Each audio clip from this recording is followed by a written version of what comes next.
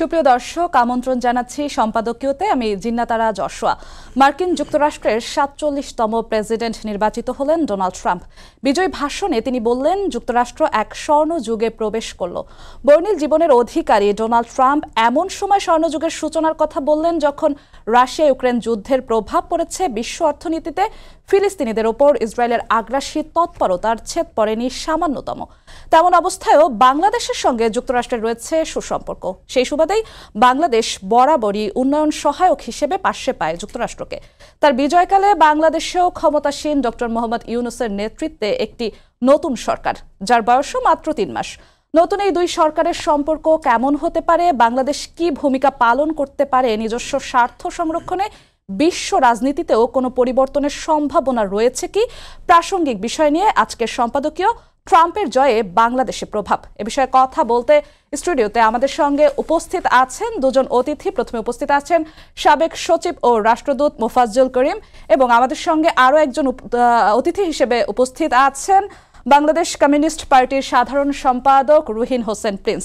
আপনাদের দুজনকে আমরা আমন্ত্রণ জানাচ্ছি সম্পাদকীয়তে দর্শকের ফাঁকে আপনাদেরকে একটু বলে রাখতে চাই, আপনারাও চাইলে এই আলোচনায় অংশগ্রহণ করতে পারেন, এজন্য আপনাদের ফোন করতে হবে টেলিভিশনে দেখানো নাম্বারে। এছাড়াও সামাজিক যোগাযোগ মাধ্যম ফেসবুকের মাধ্যমে আপনাদের মন্তব্য পাঠাতে পারেন। আমরা আলোচনায় যাব, আলোচনার শুরুতেই জানিয়ে দেব এখনকার প্রধান শিরোনামগুলো। ইতিহাস গড়ে ট্রাম্পের রাজকীয় ইতিহাস করে ট্রাম্পের রাজকীয় প্রত্যাবর্তন, মার্কিন প্রেসিডেন্ট নির্বাচনে রিপাবলিকানদের বিজয়। প্রধান উপদেষ্টা ডক্টর ইউনুস সহ বিশ্ব নেতাদের অভিনন্দন। ক্ষমতা হারিয়ে বাংলাদেশকে সাম্প্রদায়িক রাষ্ট্র বানানোর অপচেষ্টা করছে আওয়ামী লীগ, অভিযোগ তারেক রহমানের। সুষ্ঠু ভোট হলে কোনো দলকে নিষিদ্ধের প্রয়োজন হবে না। ধানমন্ডি থেকে চোদ্দ দলের সমন্বয়ক আমির হোসেন আমু গ্রেফতার। নেওয়া হয়েছে ডিবি কার্যালয়ে। অভিনেত্রী শমিকা এসার ও তাপস তিন দিন করে রিমান্ডে।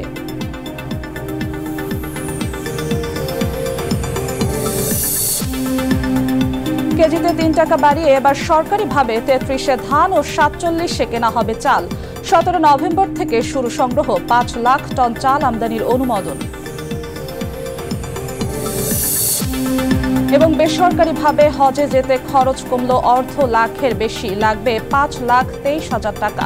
সরকারি প্যাকেজে লুকোচুরির অভিযোগ এজেন্সি মালিকদের।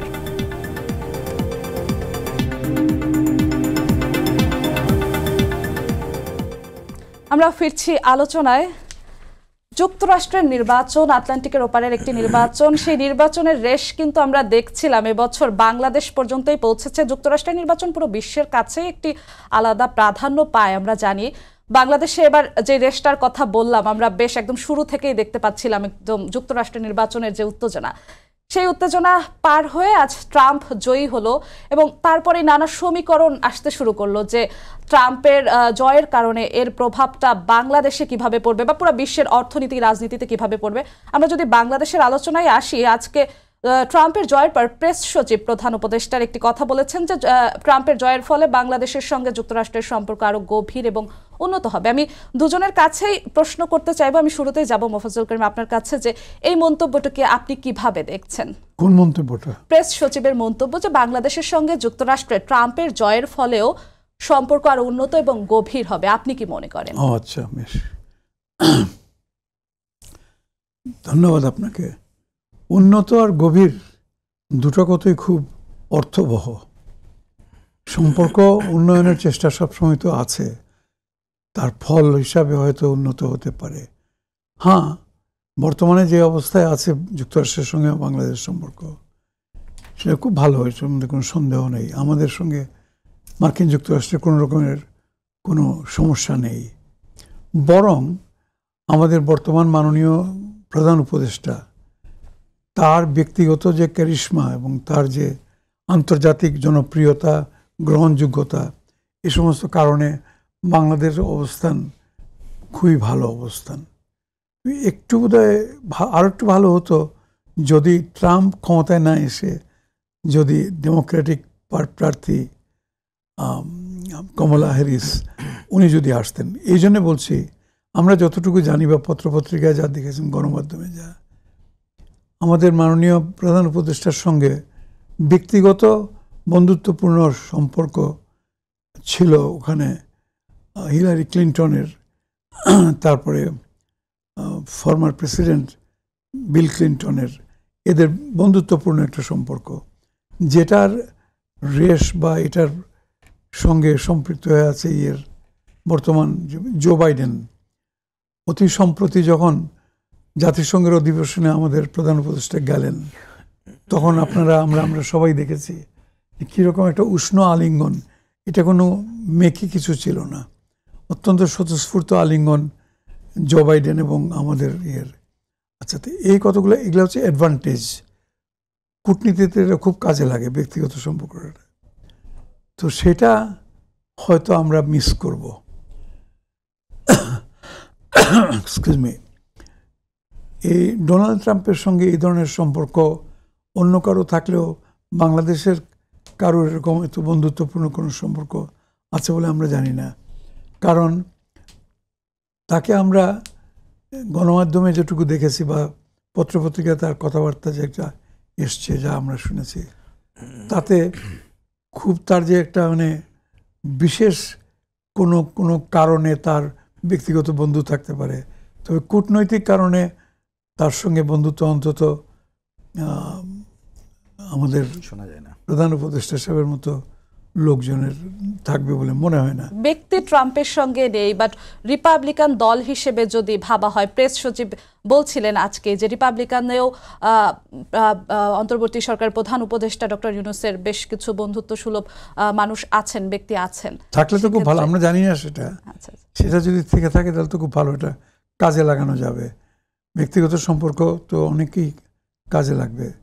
তবে একটা জিনিস জোর দিয়ে বলা যায় যে বাংলাদেশ তার যে একটা নিরপেক্ষ অবস্থান এবং তার ন্যায়ানুগ একটা নীতি, কূটনৈতিক নীতি অনুসরণ করে এটা সর্বজনবিদিত। আমরা কোনো বিশেষ কোনো গোষ্ঠী বা বিশেষ কোনো ব্লকের সঙ্গে আমরা সম্পূর্ণ সম্পৃক্ত নই। আমাদের ওই সেই পুরনো কথাটা, যেটা সকলের সঙ্গে বন্ধুত্ব, কারোর সঙ্গে বৈরী সম্পর্ক নয়, এটা কিন্তু আমি যেহেতু কিছুদিন কূটনীতিক হিসাবে কাজ করেছি, আমিও লক্ষ্য করেছি, সবাই জানে যে এটা আমরা মেনটেন করে চলার চেষ্টা করি। হ্যাঁ বিশেষ কোনো কারণে হয়তো ইসরায়েলের মতো দেশের সঙ্গে আমাদের কোনো সম্পর্কই নাই, বা মিয়ানমার নিজেরা তারা তাদের কর্মকাণ্ড দিয়ে আমাদের যে জীবন আমাদের অস্তিত্বকে অতিষ্ঠ করে তুলেছে। সে কারণে হয়তো তাদের সঙ্গে সম্পর্ক অবনতি তবুও এমন কোনো কিছু হয় নাই যেটাতে একেবারে মানে আলাদা আলাদা হয়ে যাওয়া বা একটা ইস্যু সৃষ্টি হওয়ার মতো। তো এখন দেখা যাক, মুশকিল হয়েছে যিনি এখন মার্কিন যুক্তরাষ্ট্রের রাষ্ট্রপতি হলেন। তার ব্যক্তিগত, তার পরিচয় এবং ইমেজ এটা খুব একটা সুখপ্রদ নয়। কারণ তার সম্বন্ধে তার যে অ্যাডজেক্টিভটা খুব বেশি ব্যবহার করা হয় সেটা হচ্ছে ভদ্রলোক আনপ্রেডিক্টেবল মানে তার সম্বন্ধে কিছু বলার উপায় নেই। প্রেডিক্ট করা যায় হ্যাঁ প্রেডিক্ট করা যায় না। ওই আমাদের কোনো কোনো ক্রিকেট দল সম্বন্ধে বলা হয় যে ও অমুক দল আরে এটা একটা আনপ্রেডিক্টেবল আজকে ভালো খেলছে তো। আমি মানে একটা দল সম্বন্ধে খুব জোরে সোরে বলা হয়। তো আমি আর সেটার নাম মুখে আনছি না। তো ট্রাম্প সাহেব সম্বন্ধে মানুষের ধারণা এরকম এবং কূটনীতিবিদরা আন্তর্জাতিকভাবে তাকে এইভাবেই বর্ণনা করেন আনপ্রেডিক্টেবল ক্যারেক্টার মানে বলা যায় যে কমলা বিজয়ী হলে সেক্ষেত্রে আমাদের সঙ্গে সম্পর্কটা যতটা আমি ওটাতে ওইটাতেই আসছিলাম। করা যেত আমরা আমরা আরও ভালো করতে পারতাম। আমরা আরও ভালো করতে পারতাম কারণ এক তো জো বাইডেনের সঙ্গে যে সম্পর্ক বা হিলারি ক্লিন্টন, বিল ক্লিন্টনদের সঙ্গে ইউনুস সাহেবের যে সম্পর্ক সেটাকে আরেকটা ছিলেন তবে যেহেতু ইউনুস ইউনুস সাহেব এই ইন্টারিম গভর্নমেন্টের প্রধান হিসেবে কাজ করছেন, কিছুদিন পর যখন নির্বাচিত সরকার আসবে, তখন আবার নতুন করে সমীকরণ বা নতুন করে ইয়ে হবে। তবে খারাপ কিছু আমরা সেই সমীকরণেও ফিরব নির্বাচন নিয়ে। আমি আপনার কাছেও জানতে চাচ্ছি আপনারও কি মনে হচ্ছে প্রিন্স ভাই যে কমলা বিজয়ী হলে আমাদের বাংলাদেশের সঙ্গে যুক্তরাষ্ট্রের সম্পর্কটা আসলে উন্নত হওয়ার সুযোগ বেশি ছিল? আচ্ছা ধন্যবাদ আপনাকে। আমি বিশেষ করে আমাদের শ্রদ্ধ বয়োজ্যেষ্ঠ মোফাজ্জল করিম ভাইকে আমি সালাম জানাচ্ছি কারণ অনেকদিন পরে ওনার সাথে সরাসরি দেখা হলো এবং উনি ওনার যে কণ্ঠ এটা আরও ভালোভাবেই আমাদেরকে দিক সেটাও আমি প্রত্যাশা করছি এবং যারা শুনছেন তাদেরকে শুভেচ্ছা জানাচ্ছি। আমি, আপনি যে প্রশ্নটা তুললেন, আমি এটা বলার আগে ছোট্ট একটু ভূমিকা দিই, ওইদিকে আমি সুযোগ থাকলে পরে যাব। হ্যাঁ প্রথম কথা হচ্ছে আমরা আমাদের দেশের সাথে যেটা ভালোর কথা বলছি, তা সেটা নির্ভর করে অনেক কিছুর উপরে হয়তোবা। কিন্তু সাধারণভাবে যে আমেরিকা তার পলিসি কি? দুনিয়াব্যাপী এবং বাংলাদেশের উপরে। যদিও বাংলাদেশের উপরে, বাংলাদেশের যে পৃথিবীর দুইশোর উপরে দেশ, তার মধ্যে খুব অত গুরুত্বপূর্ণ না হলেও ভূ রাজনৈতিক কারণ, নানা কারণে একটা গুরুত্বপূর্ণ বিষয়। সেটা একটা, আর বাংলাদেশ তার টিকে থাকার জন্যেই বাস্তব কারণে এবং যারা ক্ষমতাসীন থাকে, তারা যুক্তরাষ্ট্রের সাথে এক ধরনের ভালো সম্পর্ক রেখে চলবে, এটাই স্বাভাবিক। ধরেন, দলগতভাবে আমরা থাকলে কি অবস্থান হতাম সে আলোচনা আমি আগে যাচ্ছি না এটা একটা স্বাভাবিক। এখন আমার ধারণা, এই আলোচনাটা যেটা আপনিও করলেন আসছে এই কারণে, কারণ আমাদের একটা অন্তর্বর্তীকালীন সরকার যেটা গঠিত হয়েছে, এটা গঠিত হওয়ার আগে একটা গণ অভ্যুত্থান সংগঠিত করতে হয়েছে। এবং সেইটা একটা স্বৈর শাসকের বিরুদ্ধেই এই গণ অভ্যুত্থানটা সংগঠিত করা গেছে। এবং এই স্বৈর শাসককে অপসারণের জন্যে পৃথিবীতে বিভিন্ন দেশ তার যেমন বন্ধু ছিল, তাকে অপসারণও চেয়েছে যারা মানে তার ভোটের প্রশ্ন যার যার জায়গা থেকে তার এই সমস্ত করে তার মধ্যে দৃশ্যত যুক্ত রাষ্ট্রের একটা অবস্থান ছিল। এটা আমরা জানি। আর একটা যে কোনো কারণে হোক এখন মিডিয়া প্রচার প্রপাগান্ডার মাধ্যমে ওইখানে বসে তারা যে প্রতিদিন ব্রিফ করতো এবং সেখানে বাংলাদেশ নিয়ে যে প্রশ্ন হতো, আমাদের দেশে যখন একটা ভয়ের রাজত্ব কায়েম ছিল সেইখানে দেখা গেল ওইখানে বাংলাদেশের তৎকালীন সরকার তার রেজিম তার বিরুদ্ধে এই কথাবার্তাগুলো হয়তোবা অনেক মানুষকে একটা ভিন্ন মর্যাদায় নিয়ে যেত, বা মানে আমি এটা এক ধরনের কি বলব যে ওই স্বৈর শাসকের বিরুদ্ধে অবস্থানের দিকে নিয়ে যেত। যাই হোক, তারপরে যখন এই আমাদের এই পট পরিবর্তনের ঘটনা ঘটলো, তা তখন হয়তো অনেকের মধ্যে এই ধারণটা চলে আসছে যে মার্কিন যুক্তরাষ্ট্রের এই যে এখনকার যে ঘটনা, তার একটা সমর্থন। আমাদের উপরে পুরোপুরি ছিল। এটা সাধারণভাবে ধারণা করে। যদি আমি ওই অ্যানালিসিসেই যাচ্ছি না নানা, এর মধ্যে নানা বিষয় আছে, নানা ঘটনা, সেটা আমি না যাই। তাহলে সেই রকম একটা জায়গা থেকে প্রথমে আসলো যে, তাইলে তারা এই অবস্থায় ছিল, সুতরাং তাদের সাথে আমাদের সম্পর্কের ধারা কি হবে? এই কারণে প্রশ্নটা একটা গুরুত্বপূর্ণ। আরও গুরুত্বপূর্ণ হয়ে দাঁড়াইছে যেটা মজফুল করিম ভাই মনে করিয়ে দিলেন যে, আমাদের যিনি প্রধান দায়িত্ব এখন সরকারের পালন করছেন তার আগের সরকারের সাথে ব্যক্তিগত সম্পর্ক এবং জাতিসংঘে যাওয়ার পরে বাইডেন সাহেব এসে যেভাবে তাকে দেখা করলেন ওয়েলকাম করলেন, তাতে সাধারণভাবে মানুষের মনে হয়েছে যে ওই প্রশাসন থাকলে তো উনি অনেক ভালো করে আগাতো। সুতরাং এখন যখন ট্রাম্প সাহেব চলে আসলো, তখন কোশ্চেনটা আরও বেশি আসছে। কিন্তু আমার ছোট্ট এরকম উত্তর হচ্ছে ঠিকই। ট্রাম্প সাহেব আনপ্রেডিক্টেবল এ নিয়ে দ্বিধাদ্বন্দ্ব, উনি ভদ্র শব্দ বলেছেন। ওনার সম্পর্কে হয়তো অন্য শব্দ বলা যেত, কিন্তু টেলিভিশন টকশোতে তো আর বলা যাবে না, দরকার নাই সেটা। কিন্তু আমি সহজে যেটা বুঝি, মার্কিন সাম্রাজ্যবাদ, তার একটা রাষ্ট্রীয় পলিসি আছে পেন্টাগনের পলিসি আছে, তাদের অনেকগুলো আন্তর্জাতিক সংস্থা, ধরেন আইএমএফ ওয়ার্ল্ড ব্যাংক তার যে প্রভাব বিস্তারকারী, যেটা দিয়ে একটা দেশের উপরে নানাভাবে প্রভাব বিস্তার করে। আরেকটা আছে ভূ রাজনৈতিক কারণ, সেখানে বাংলাদেশকে বিট করতে গেলেও তার আঞ্চলিক অন্যান্য জায়গা থেকে যেটা করে। এই জায়গাগুলোতে দৃশ্যমান। তাদের দিক থেকে নতুন কিছু ঘটবে এটা আমরা মনে করছি, অন্ততপক্ষে আমি মনে করছি না। যেটা আমাদের সরকার, ইউনুস সাহেব হয়তো আগেরটা থাকলে উনি ঠিকই বলেছেন যে যে ক্লিন্টন তার পরিবারের সাথে সম্পর্ক সব মিলিয়ে হয়তো যত স্বাচ্ছন্দ্যের মধ্যে দিয়ে হয়তো কেউ কেউ মনে করতে পারেন অত স্বাচ্ছন্দ্যের মধ্যে হবে না। কিন্তু আমার মনে হয় যে প্রেস সেক্রেটারির কথা বলেন, এটা অফিসিয়াল বয়ান। ওই জায়গায় আপনি থাকেন, যেই থাকেন ওই রকমই একটা দিতে হতো। ওটা রেডি করা থাকে ওই রকমই যে আসতো, ওইটাই দিতে হতো। দেখবেন যে ওই কি মানে কমলা আসলে বলতো, এতদিন যা ছিল আরও হইবে। ওটাকে নিয়ে আমি কোনো বিষয় বলি না যে উনি তো দায়িত্বে ছিলেন, এগুলো ওনারা জানেন। কিন্তু আমার মনে হয় যে এইটার নতুন কিছু আপাতত।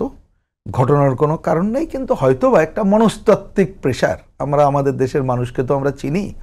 তার হয়তো একটা প্রথম দিকে কিছুটা মনস্তাত্ত্বিক প্রেশারের কাজ আমাদের উপরে করতে পারে যে গভর্নমেন্ট প্রথম দিকে মেলা পারবে না। কারণ অতীত দিনে ইউনুস সাহেব আগের বার ট্রাম্প জেতার পরে কি কথা বলছিল এই কথাগুলো চলে যখন আসবে তখন হয়তো একটা মনস্তাত্ত্বিকভাবে কেউ খুশি কেউ অখুশি হবে।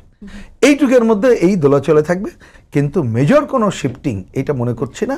আরও বিশেষ করে এই কারণে ট্রাম্পের যে বাংলাদেশের দিকে নজর ছিল আমরা নির্বাচনের কয়েকদিন আগে দেখলাম একটি টুইটের যে বিষয়টি সামনে আসলো সংখ্যালঘু নির্যাতনের বিষয়টি।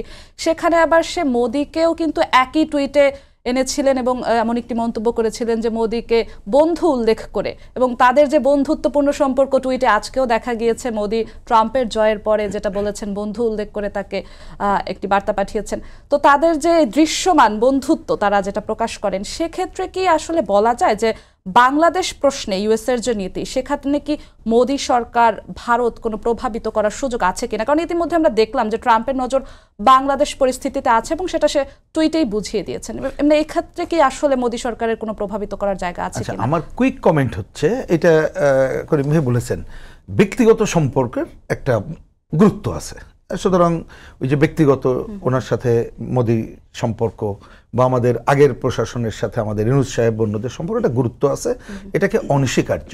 কিন্তু আমার মনে হয়েছে, যেমন ওই যে যে টুইটের কথা বললেন, তখন আমাকে যখন জিজ্ঞেস করা হয়েছিল, আমি এটা বলেছিলাম যে এটা মনে রাখতে হবে ওনার ভোট এবং ওই দেশের ভোট আমাদের দেশে এখন চলে আসছে, এটা যারা ম্যানেজ করে বুঝছেন আমি ইভেন্ট ম্যানেজমেন্ট বলি জন্য, হিন্দু আনার জন্য হয়তো ও তারাই তখন নানা বিবেচনা থেকে বলেছে যে এখন এই কাজটা এই কথাগুলো বলাটা জরুরি। কিন্তু আমি ব্যক্তিগতভাবে বলেছি যে ওই কথাটা যখন উপযুক্ত বলার সময় ছিল পাঁচই অগস্টের পরে তখন তো উনি না থাকলেও তো তখন তো ওনার কথা আমরা শুনি নাই। সুতরাং ওইটা হচ্ছে তার একটা অফিসিয়াল বয়ান হিসেবে আমি নিতে চাই। সেইটাকে ধরে মোদির নতুন কোনো প্রভাবের জায়গা আসবে আমি বলেছি, ওই মনস্তাত্ত্বিক প্রভাব ছাড়া তার বাইরে কোনো প্রভাব আমার বিবেচনায় আমি এখন দেখছি না। মোফাজুল করিম, আপনার কাছেও এই একই বিষয়ে আসতে চাচ্ছি যে আজকেও আমরা দেখেছি কিংবা গত কয়েকদিন ধরে ভারতীয় গণমাধ্যমগুলো এই বিষয়টিকে খুব বেশি করে প্রকাশ করছে যে ট্রাম্প যখন হোয়াইট হাউসে যাবে, তখন দেখা যাবে যে শেখ হাসিনার বাংলাদেশে ঢোকারও চান্স তৈরি হবে। এরকম কিছু ভারতীয় গণমাধ্যম এরকম অনেক নানান ধরনের খবর প্রকাশ করছে।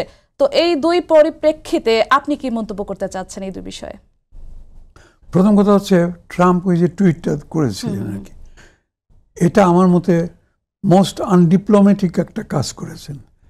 আচ্ছা। মার্কিন যুক্তরাষ্ট্রের প্রেসিডেন্ট হওয়ার জন্য যিনি নির্বাচনে দাঁড়াচ্ছেন তার কাছ থেকে অন্তত আর যাই হোক পৃথিবীর একটা অন্য প্রান্তের একটা দেশ সে বিভিন্ন কারণে অত্যন্ত গুরুত্বপূর্ণ ধরে নিলাম অর্থাৎ বাংলাদেশ তার অভ্যন্তরীণ ব্যাপারে তুমি কথা বলবে who the hell are you you are just a candidate তুমি একটি প্রার্থী, একটা প্রেসিডেন্ট নির্বাচনের একজন প্রার্থী। কোথাকার? বাংলাদেশের প্রেসিডেন্টের নির্বাচন নয়। তুমি মার্কিন যুক্তরাষ্ট্র প্রেসিডেন্ট দাঁড়িয়েছো। সেখানে বাংলাদেশের অভ্যন্তরে কি হচ্ছে, না হচ্ছে তাদের? আচ্ছা তাও কি সর্বৈব মিথ্যা বলা যায় একটা ব্যাপার? হ্যাঁ কিছু কিছু সাম্প্রদায়িক একটু অসন্তোষ বা একটু উষ্ণতা দেখা দিয়েছিল। ঠিক কথা। কিন্তু তিনি যেভাবে বর্ণনা করেছেন যে হিন্দু, খ্রিস্টান, বৌদ্ধ সকলের উপরে যে নির্যাতন করা উচিত, এর এটা একটা কানায়ও বুঝে যে তুমি দুইটা বেশি ভোট পেতে চাও। ওখানে প্রায় পঞ্চাশ ষাট লক্ষ ভারতীয়রা আছে ইয়েতে যুক্তরাষ্ট্রে। তাদের ভোটটা পাওয়ার জন্য।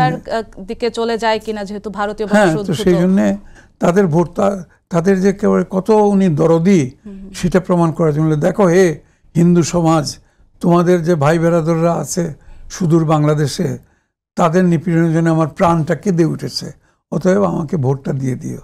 এটা একটা বালখিল্যতা আমি মনে করি। একদম সম্পূর্ণ একটা মানে অর্বাচীনের মতো কথাবার্তা। তো এটা আমি কিছুতেই সমর্থন করি না বা করি নাইও এবং এতে আমি মনে করি বরং ভোট কাটার কথা। কিন্তু আমার কাছে বেশি বিস্ময় লেগেছে যেটা কোনোবার যেটা আগের নির্বাচনগুলো তো মানে মার্কিন যুক্তরাষ্ট্রের নির্বাচনে এটা দেখি নাই। এবার দেখলাম কিছু সংখ্যক বাংলাদেশি ভোটার অর্থাৎ বাংলাদেশি মার্কিন নাগরিক তারা মিছিল বের করেছেন ইয়ের পক্ষে এই ডোনাল্ড ট্রাম্পের পক্ষে। নির্বাচনের নির্বাচনের আগে নিউ ইয়র্ক শহরের মধ্যে মিছিল হয়েছে। এটাও আর একটা মজার ব্যাপার। হ্যাঁ বুঝলাম তুমি মার্কিন যুক্তরাষ্ট্রের একজন মার্কিন নাগরিক, তুমি নিশ্চয়ই তোমার একটা পছন্দ অপছন্দ, তুমি তা একে সমর্থন করো, সবই ঠিক আছে। কিন্তু একেবারে হামলে পড়তে হবে ইয়ের জন্যে, একজন প্রার্থীর জন্যে, তাতে করে যে তোমার নিজের দেশের পজিশন আজকে যদি কথার কথা বলছি, যদি ট্রাম্প না জিতে, যদি কমলা হ্যারিস জিততেন, তাহলে কী অবস্থা হতো? ন্যাচারালি কমলা হারিসের সাঙ্গপাঙ্গ যারা, আমলা টামলা যারা আছে, তাদেরকে বলা হতো, দেখো তো দেখি এগুলা কারা কারা করেছিল এরকম নির্বাচনের আগে। আমাদের বিরুদ্ধে এবং ট্রাম্পের পক্ষে ইয়ে করেছে, খুঁজে বের করো।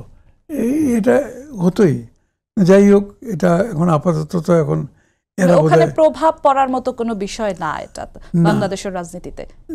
সেটা যেমনটা বলছিলাম যে প্রভাবিত ওভাবে করা সম্ভব না ইউএস এর নীতিকে কারণ আমরা ব্যক্তি ট্রাম্প না রাষ্ট্র যুক্তরাষ্ট্র হিসেবে যদি দেখি সেভাবে প্রভাবিত করা সম্ভব না। তবুও কিছু কথা ঘুরে ফিরে আসে। আমি আহ, প্রিন্স ভাই আপনার কাছে আবার একটু যাব যে অন্তর্বর্তীকালীন সরকারের উপর যে না মানে নানা মোড় কি আসতে পারে কিনা যুক্তরাষ্ট্রের তরফ থেকে। এবং সেক্ষেত্রে আমি যদি উদাহরণ হিসেবে বলি যে দ্রুত নির্বাচন দেওয়ার একটা যে চাপ বা তারা সেটা কি আসতে পারে কিনা ট্রাম্পের জয়ের ফলে? না, আমি শুধু এটা একটু বলি যে ধরেন এই পর্যন্ত আমরা কি দেখছি আমেরিকান পজিশনটা? আমি খুব সরলীকরণ করে যদি বলি যে আমাদের একটা গণ অভ্যুত্থান সংগঠিত হয়েছে তাতে যে অন্তর্বর্তীকালীন সরকার আছে, তার প্রতি তাদের সাপোর্ট আছে। এটা তো এক নম্বর। দ্বিতীয়ত হচ্ছে আমরা কতগুলো সংস্কারের কাজ শুরু করার কথা বলেছি, সেটাও তাদের সাপোর্ট আছে বলেছি। কিন্তু এর বাইরেও ধরুন এইখানে যে হত্যাযজ্ঞ সংগঠিত হলো তার বিচার আমরাই তো করতে চাই করার কথা বলছে সেটাও সাপোর্ট আছে। এইখানে বরঞ্চ দেখবেন যে পাঁচই আগস্টের আগে পরে এইখানে বিচার নিয়ে যেটা সরকার বা অন্য জায়গাতে একটা ইন্ডেমিনিটির কথা বলা হয়েছে যদি আমাদের দলগতভাবে আমরা তখনই বলেছি আমরা কোনো ইন্ডেমিনিটির পক্ষে না। সব হত্যাকাণ্ড তার বিচার করতে হবে গুরুত্ব বুঝে সেটা অন্য আলোচনা আইনের জায়গায় করতে হবে। তো ওই ব্যাপারেও কিন্তু দেখবেন যে তারা বলেছে যে তারা কোনো ইন্ডেমিনিটির জায়গায় তারা নাই। মানে তারা যে মানবাধিকার অন্যান্য জায়গাগুলো করতে চায় এটাই। আর আলটিমেটলি তারা এইখানে চাইবে যে সরকার আসুক, তাদের পক্ষে থাকুক। কিন্তু অবশ্যই ভোটকে তো উপেক্ষা করতে পারবে না। সুতরাং আমার ধারণা যে তারা ভোটের কথাও বলবে, সংস্কারের কথাও বলবে, যেটা বলছে। কিন্তু আগে, কত আগে, পরে এই আলোচনাগুলো নির্ভর করবে, এটা আমার ব্যক্তিগত ধারণা হচ্ছে, যে আমাদের দেশের অভ্যন্তরে অন্যান্য রাজনৈতিক শক্তি, সমাবেশ, জনতার কণ্ঠটা কি দাঁড়ায়? ধরুন আমাদের দলগতভাবে, বা এখানে আমি যদি বুঝে থাকি যে বাংলাদেশের অধিকাংশ দল গণতান্ত্রিক, আমরা অধিকাংশ বলছি যে হ্যাঁ সংস্কার করতে, করার কাজটা আছে, কিন্তু এই সংস্কার তো, এই সরকার তো পূর্ণ করতে পারবে না। সংস্কারের কতকগুলো জিনিসের রূপরেখা তৈরি করুক, পারলে শুরু করে দিয়ে যাক। আর এই কাজটা করবে নির্বাচিত সরকার। সুতরাং এই সরকারের অন্যতম প্রধান কাজ হচ্ছে নির্বাচন ব্যবস্থার আমূল সংস্কারের আলোচনা শুরু করে একটা নির্বাচনের রোডম্যাপ ঘোষণা এবং নির্বাচনের দিকে যাওয়া। এটা তো আমাদেরও বক্তব্য। আর ওই যে সংস্কারের জায়গাটা এটা। তা আমি মনে করি এই কণ্ঠটা যদি সোচ্চার আমরা করতে যত বেশি করব, আমেরিকাকে যেই থাকুক না কেন এর বিরুদ্ধে যাওয়ার কোনো সুযোগ তাদের হবে না। বরঞ্চ যেটা আপনি একটু আগে আগের পার্টে যেটা বলছিলেন সেটা হচ্ছে অনেক ক্ষেত্রে এইসব দেশগুলো হয় কি জানেন? তার অনেকগুলো চরিত্র থাকে। হয়তো সময় নাই বলে আমি যাচ্ছি না। বা পরের পার্টে হলে আমরা হয়তো কথা বলতে পারব। ধরুন দুনিয়ার অন্য দেশ, আমি অন্য চ্যাপ্টার বাদ দিলাম। এই যে অঞ্চল, এই অঞ্চলে ভূ রাজনৈতিক কারণে তার একটা যে নজর আছে এবং আমরা কিন্তু সাধারণভাবে এটা সবাই বোঝে, সে ডাইরেক্ট অনেকে মনে করে যে ডাইরেক্ট দেখবে আর একটা তত্ত্ব থাকে যে না, সে ভারতের জায়গা মিলায় দেখবে। হ্যাঁ আগের যে কোনো সময়ের তুলনায় যেহেতু ব্যক্তিগত সম্পর্কের কথাটা হচ্ছে, ভারতের যিনি সরকারের প্রধান তার সাথে, তা হয়তো সেই চোখ দিয়ে মানে সেই ধারাটাকে হয়তো আগের তুলনায় শক্তিশালী হতে পারে। তা সেইটা হওয়ার মধ্য দিয়েই যে পলিসি আগের সরকারের ছিল তার থেকে কোনো পরিবর্তন ঘটবে বলে আমি মনে করি না। আসলে কি প্রভাবটা পড়ে কিনা? এই প্রসঙ্গে আমি একটু আপনার কাছে আবারও ফিরবো মোফাজুল করিম। আপনার কাছে একটু জানতে চাই যে আমরা কিন্তু নির্বাচনের সময়ও দেখেছিলাম দ্বাদশ জাতীয় সংসদ নির্বাচনের সময় কিন্তু আমেরিকা গণতান্ত্রিক উপায়ে একটি নির্বাচন চেয়েছিল। তখন নানা নিষেধাজ্ঞার কথা আমরা শুনেছিলাম যাতে সব দল অংশগ্রহণ করে, অংশগ্রহণমূলক নির্বাচন হয়। এবং তারপরেও কিন্তু নির্বাচনটি হয়েছিল। আমেরিকার স্যাংশন কিংবা ভয় কোনো কিছুতে সেভাবে নির্বাচনকে আটকানো যায়নি। এবং তারপরে আমরা যেটা দেখলাম যে ছাত্র জনতা, জনগণ সিদ্ধান্ত নিয়ে যেই প্রভাবটা পড়েছে সরকার পতনের যে বিষয়টি এসেছে। তো আসলে কি সম্ভব হয় বাইরের কোনো দেশ থেকে অভ্যন্তরীণ রাজনীতিকে প্রভাবিত করা? নির্ভর করে সেটা। যে দেশের উপরে মানে চাপ সৃষ্টি করবে বা ইয়ে তার নিজস্ব শক্তি কতটুকু আছে, তার দক্ষতা, যোগ্যতা কতটুকু আছে, ওটা প্রতিহত করা অথবা এটাকে সাময়িকভাবে ঠেকানো দেওয়া অথবা গ্রহণ করা ইত্যাদি। সে যদি আবার ওই লেজুর ভিত্তি পছন্দ করে বা বড় সাহেব যাহা বলিয়াছে বা বড় মিয়া যাহা বলিয়াছে তাই শুনিব। এই নীতি যদি কয়, তাহলে তো এটা তো নত জানু পররাষ্ট্রমন্ত্র পররাষ্ট্র নীতি হয়ে গেল। এরকম আশা করি বাংলাদেশ অন্তত ফ্রম নাও অনওয়ার্ডস এখন থেকে শুরু করে গত পনেরো ষোলো বছর কথা বাদ দেন। সে দুষ্ট লোকে বলে যে, তখন তো আমাদের পররাষ্ট্র নীতি টিতি সমস্ত দিল্লি থেকে সব ঠিকঠাক হতো আর কি।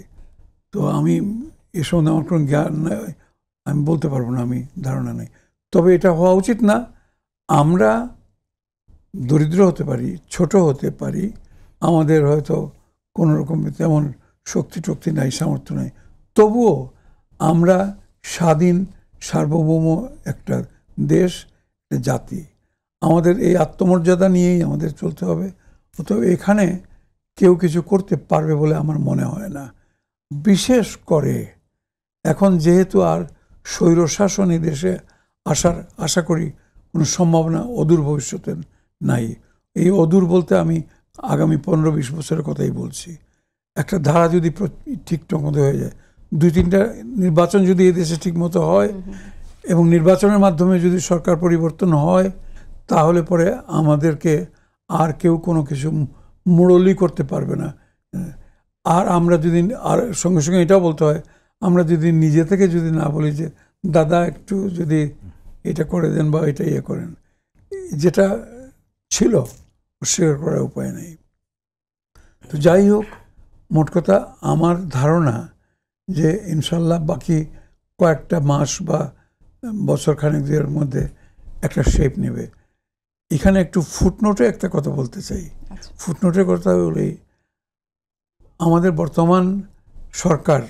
অন্তর্বর্তীকালীন সরকার আমাদের এত জনপ্রিয় ব্যক্তি কিন্তু এই জনপ্রিয়তা দিয়েই শুধু কাজ হবে না।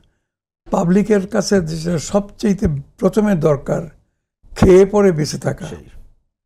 দুঃসহ জীবনযাত্রা হয়ে গেছে। আপনার নয় আমার নয় ওনার নয়।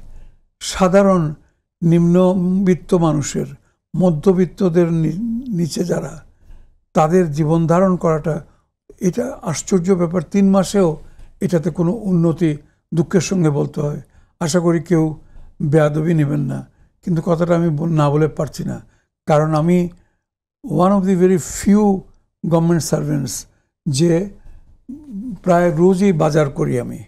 কোনো কিছু দরকার পড়লে বাজারে যাই। মাছ তরি তরকারি হেন তেন দরদার করে টরি সেখানে আমি দেখছি যে কি অবস্থা। মূল্যস্ফীতিটাকে টানানো যাচ্ছে না। হ্যাঁ? মূল্যস্ফীতিকে টেনে ধরা যাচ্ছে না। হ্যাঁ তো সেটাই বলতেছি অন্তত মূল্যস্ফীতিটাকে আপনি নিয়ন্ত্রণ পুরোপুরি করতে পারবেন না। যতটুকু সম্ভব সর্বশক্তি নিয়োগ করে আপনি এটাকে এক নম্বর করেন। দ্বিতীয়ত কতগুলো আইটেম আছে যেগুলো সম্বন্ধে বলা হয়? সিন্ডিকেট ব্যবসায়ীরা বা আমদানিকারক সিন্ডিকেট আরে সিন্ডিকেটে যদি আমরা চিনি, তাহলে সিন্ডিকেটের লোককে লোকগুলোকে ধরে নিয়ে এসে তাদেরকে শাস্তি দেন না কেন? কিংবা তাদের সঙ্গে বসেন, শাস্তি দিয়েন না। বসেন, বলে সিন্ডিকেট সাহেব, আসসালামু আলাইকুম। আসেন, একটু গল্প করি। করে তাদের সঙ্গে একটা আন্ডারস্ট্যান্ডিংয়ে আসেন। কিচ্ছু না, খালি সিন্ডিকেট সিন্ডিকেট এই সমস্ত কথায় পাবলিকের পেট ভরবে না নাম্বার ওয়ান নাম্বার টু আইন শৃঙ্খলা পরিস্থিতির আগে থেকে পাঁচই আগস্টের পরে যেরকম দ্রুত অবনতি হয়েছিল, তাতে কিছুটা উন্নতি হয়েছে বটে, কিন্তু এখন পর্যন্ত এটা সন্তোষজনক পর্যায়ে যায় নাই এটাও। এই দুইটা দিকে আমি সদাশয় সরকারকে বলব, অবিলম্বে জরুরিভাবে ব্যবস্থা নিন এবং এখানে যদি আপনারা মনে করেন, না না না না, আমরা কিছু করতে গেলে পরেই আগের সরকারের, ওই স্বৈর শাসকের মতো আমি গুলি টুলি যদি মেরে বসি তো, আরে গুলি মারিয়ে গেলে ঠিক করতে হবে নাকি আমি বত্রিশ, তেত্রিশ বছর আমি ফিল্ডে চাকরি করেছি। কিন্তু বহুত এই বৃহত্তর ঢাকা জেলাতে পর্যন্ত অনেক যখন ডিসি ছিলাম সিচুয়েশন অ্যারাইজ করেছে। আমি তো খবরদার, ন গুলি নাথিং ন লাঠিচার্জ আসো, মুখ দিয়ে জবান দিয়ে, মিষ্টিতে হোক আর তিক্ততে হোক। তো এগুলা করেন। কিন্তু আপনি এগুলা না করলে পরে তো মানে। জনগণকে সাথে না নিলে জনগণ তৃপ্তি না পেলে আসলে অভ্যন্তরীণ শক্তি হোক বাইরের কোনো শক্তি হোক কোনো কিছু দিয়ে জনগণ তো জনগণ তো আপনার তখনই হ্যাঁ। আপনাকে আপনার সঙ্গে থাকবে বা আপনাকে তালিয়া বাজাবে তখনই যখন তার পেটে ভাত আছে। তার পেটে যদি কিছুই না থাকে তাহলে তো হাতটা তুলে যে তালি দিবে সেই ক্ষমতাও তো সে হারিয়ে ফেলবে। তো এই জন্য আমার স্বনির্বন্ধ অনুরোধ এইদিকে মন দেওয়া হোক। দ্রব্যমূল্য এবং আইন শৃঙ্খলা। তাতে করে জনপ্রিয়তা নষ্ট হচ্ছে না, কি হচ্ছে? আর যারা এগুলোর জন্য দায়ী মূল্যবৃদ্ধির জন্য এদেরকে কঠোর শাস্তি আমরা যেমনটি বলছিলেন আপনি যে, জনগণ যদি কোনোভাবেই খুশি না থাকে, তাহলে আসলে কোনোভাবেই বহির্বিশ্বের কোনো চাপ দিয়েই রাজনৈতিক প্রভাব অভ্যন্তরীণ রাজনীতিতে পড়ানো সম্ভব না। তো আমরা এক্ষেত্রে একটু আপনার কাছে প্রিন্স ভাই আবারও ফিরবো যে আমরা নির্বাচনের ইস্যুটি দেখলাম, রাজনৈতিক প্র- প্রভাব বা পাশের দেশের যে ইস্যুটি দেখলাম, সেক্ষেত্রে আমরা বহির্বিশ্বে আমাদের দেশ কি নজর কাটছে না কোনো কোনো ইস্যুতে? যেমন ডোনাল্ড ট্রাম্পের সংখ্যালঘুর ইস্যুটাতেই যদি আমি আবার একটু তাকাই যে সংখ্যালঘু নির্যাতনের যে বিষয়টি তিনি তুলে ধরেছেন, বহির্বিশ্বে নজর কেড়েছে এবং আমরা দেখতে পাচ্ছি সম্প্রতি সময় হিন্দু ধর্মাবলম্বী যারা আছেন তারা আট দফা দিয়েছেন, আন্দোলন চালাচ্ছে। তো এখন কি আসলে বাংলাদেশের এই বিষয়ে উদ্বিগ্ন হওয়ার উচিত কিনা? যে এখন যেভাবে বহির্বিশ্বের নজর কাটছে ভবিষ্যতে আরও নজর কাটতে পারে এই বিষয়টি? না, আমি বরঞ্চ এই আলোচনায় মুফাজ্জল করিম ভাই যে জায়গায় আর্টিকুলেট করেছে, সেইটাকে গুরুত্ব দিলে দেখবেন এইটা ওর সমাধান হয়ে যাচ্ছে। হিসাব করে যদি বলেন, আমি সময়ের বিবেচনায় বলছি এক নম্বর কাজ, এই জিনিসপত্রের দাম। অ্যাকচুয়ালি সরকার এমন কোনো ভূমিকা নিচ্ছে যা দৃশ্যমান নাই কিন্তু। তো ভূমিকা নিতে হবে। কি আমাদের অল্টারনেট বলা আছে, এখন সময় নেই, বলছি না।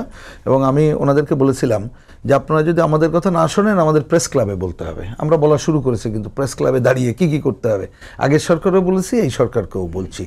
কারণ যদি ওইটা সমাধান করতে পারি, আপনি জনজীবনের শৃঙ্খলা যদি ফিরিয়ে আনতে পারি আমাকে তখন ইন্ডিকেটার হবে আমাদের দেশের ধর্মীয় জাতিগত সংখ্যালঘুরা নিরাপদ বোধ করছেন কিনা, নারী সমাজ নিরাপদ বোধ করছেন কিনা। তাহলে এইটা একটা আমি ইন্ডিকেটর বলছি। তাহলে এইটা যদি নিরাপদ বোধ করে, তাহলে কেউ যদি আমাদের উপরে কোনো প্রভাব বিস্তার করতে চায়, সে তো পারবে না এই পয়েন্টে সুতরাং সেইটা আমি কোনো সংকট দেখি না। যদি আমরা নিজেরা নিজেদের সংকটগুলো মেটানোর জন্য প্রচেষ্টা নেই। তাহলে এই দুইটা কাজ যেটা উনিও বললেন, আমি একমত হয়ে বলছি, এই দুইটা কাজের সাথে আর জরুরি ভিত্তিতে আর দুইটা কাজ একটা হচ্ছে রাজনৈতিক দলগুলোকে আস্থায় নিতে হবে। কারণ সেটা ছাড়া তো পারবে না। এবং যারা চিন্তক মানুষ তাদের, তারা গুটি কয়েক মানুষ, আমি আজকে হয়তো সে এজেন্ডা নাই বলে আমি ঢুকছি না। সমন্বয় তো আমরা দেখছি না, আমরা তো বুঝতেই পারছি না কার্যক্রম। এবং যে দুইবার তারা রাজনৈতিক দলগুলো ডাকলো, ওটা বিশেষ ইস্যুতে ডেকেছে। কোনো সংলাপ কিন্তু ছিল না, কারণ দুইটাই আমি ছিলাম বলে দায়িত্ব নিয়ে কথাটা বললাম। সুতরাং ওইটা একটা করতে হবে আর একটা করতে হবে। আলটিমেট গোল যে একটা ভালো ইলেকশন করা, সেইটাকে দৃশ্যমান করতে হবে। রোডম্যাপটা করে করতে হবে যে আমরা এই কাজের মধ্য দিয়ে ওই জায়গায় যেতে চাই। আপনি ন্যূনতম এই কাজটা যদি আমরা করতে পারি, তাহলে দেখবেন বহির্বিশ্ব, এটা মনে রাখতে হবে, আমাদের দেশের উপরে। পতিত গোষ্ঠী বলেন, অপশক্তি বলেন, তারা এক ধরনের প্রভাব বিস্তারের চেষ্টা করবে। আর করবে, আধিপত্যবাদী এবং সাম্রাজ্যবাদী দেশ। তারা চাইবে যে সরকারই থাকুক, একটা দুর্বল সরকার যাতে থাকে। নানাভাবে প্রভাব বিস্তার করছে। আর যে আজকে যে আমেরিকা নিয়ে কথা হচ্ছে, এই সাম্রাজ্যবাদ তার স্বার্থ ছাড়া তো সে এক চিল নড়বে না। এবং যুদ্ধ বিগ্রহ বাঁধিয়ে যুদ্ধ উন্মাদনা তৈরি করে তার নিজের নিজে- নিজের ইকোনমি রক্ষা করে পৃথিবীর দেশগুলোর উপরে প্রভাব বিস্তার করা ঋত সাম্রাজ্যবাদের প্রধান কাজ। সেই কাজগুলো তারা কিন্তু করতে থাকবে এবং চাইবে। সেইটা একমাত্রই রক্ষা কবচ হচ্ছে আমাদের দেশের মানুষকেই। এইটার বিরুদ্ধে সোচ্চার থাকায় রুখে দাঁড়ানো। আর যারা ক্ষমতায় আছে, তারা যাতে লোকাল আমাদের নিজস্ব সংকটগুলো দূর করার ক্ষেত্রে তারা যদি ভূমিকা নিতে পারে, তাহলে দেখবেন এই জনগণই এই ধরনের সাম্রাজ্যবাদ বা আধিপত্যবাদী দেশ যদি আমাদের উপরে কোনো বেআইনি কথা বলতে চায়, প্রভাব বিস্তার করতে চাই তারাই রুখে দাঁড়াতে পারবে। এই ছাড়া কোনো সরকার বিশেষ কিছু ট্যাবলেট টুবলেট দিয়ে রুখে দাঁড়াতে পারবে না। আমি জাস্ট একটা ছোট্ট উদাহরণ দিয়ে শেষ করি। ধরুন, এইখানে যে আলোচনাগুলো আসলে, এর মধ্যেই কিন্তু বলা হলো ধরো ওই যে আপনি সরি এটা আপনিই বলেছিলেন যে আগেও তো আমেরিকা বলেছিল তুমি এটা করো ওটা করো একটা এই ধরনের নিষেধাজ্ঞার থেকে আমি বলি যে এইভাবে ভোট টোট করো। কিন্তু তো রক্ষা করতে পারে নাই পারছে? হয় নাই তো। যে কোনোভাবে হোক ওই সরকার সে একটা ভয় রাজত্ব কায়েম করে আধিপত্য শক্তির মদতটা নিয়ে সে এক ধরনের ভোট করে ফেলেছে। তারপরে যদি বাংলাদেশের জনগণ যতক্ষণ না পর্যন্ত রুখে দাঁড়াইতে না পেরেছে, ততক্ষণ পর্যন্ত সে যদি ইনফ্লুয়েন্সও করতে চায়, সে যদি সেখানে মদত দিতে চায়, দিতেও তো আগে পারবে না। তাহলে সব কিছু নির্ভর করছে কিন্তু আমাদের দেশবাসীর উপরে। হ্যাঁ শুধু সেইটা না, এই সাম্রাজ্যবাদ অনেক সময় দেশের মানুষ যদি ধরেন তার একেবারে অপছন্দ হয়, সে নানা ধরনের নিষেধাজ্ঞা আরোপ, নানা ধরনের অর্থনৈতিক অবদ আরোপ, এগুলো করে একটা সংকট তৈরি করতে পারে। কিন্তু সেটা এখনকার এজেন্ডা বলে আমি সেদিকে যাচ্ছি না। আমার মনে হয় আমাদের অন্তর্বর্তীকালীন সরকার তার কাছ থেকে মেলা প্রত্যাশা করার দরকার নাই।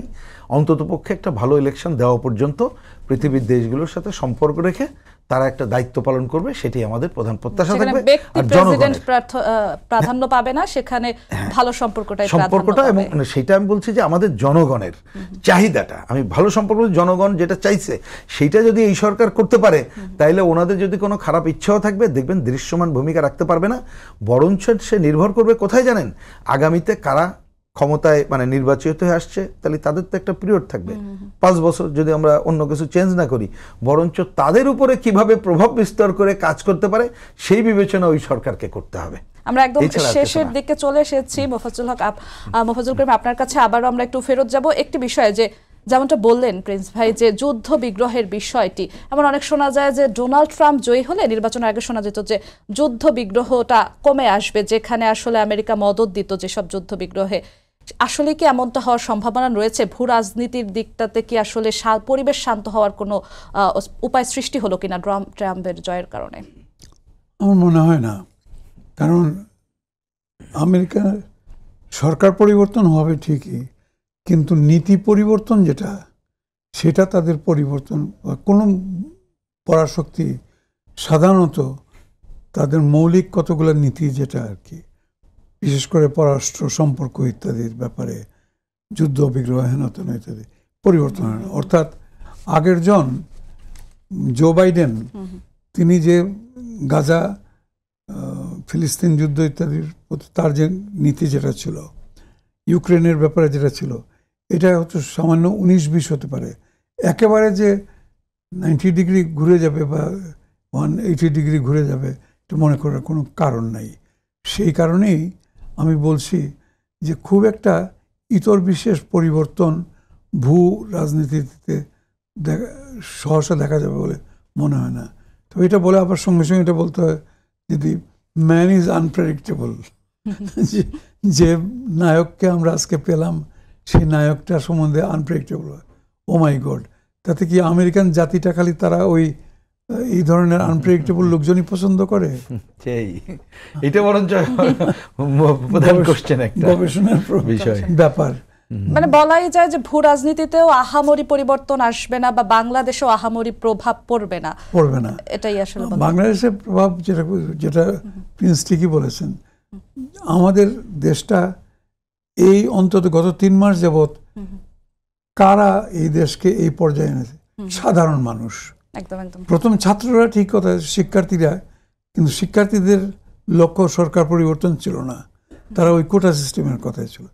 হঠাৎ করে তারা দেখল যে এখানে হুড় হুড় করে এসে পড়েছে জনতা এসে যোগদান দান করেছে। এবং ওই পর্যন্তও ঠিক ছিল। যখনই দেখল যে ইয়েকে কি বলে আবু সাইদকে অপমান করে আর গুলি করে। আমরা একদমই শেষের দিকে চলে এসেছি। আলোচনায় আপনাদেরকে অংশগ্রহণ করার জন্য অসংখ্য ধন্যবাদ। দর্শক, আপনাদেরও ধন্যবাদ জানিয়ে শেষ করছি আজকের সম্পাদকীয়। আগামীকাল আবারও দেখা হবে, রাত দশটায় দেখার আমন্ত্রণ রইল। শুভরাত্রি।